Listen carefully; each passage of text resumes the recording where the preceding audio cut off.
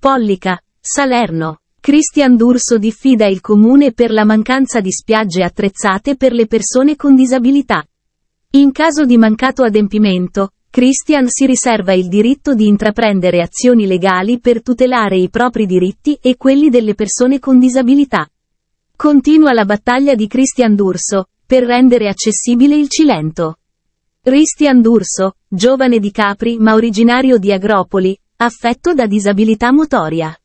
Su www.lavocedelmeridione.com il testo della diffida.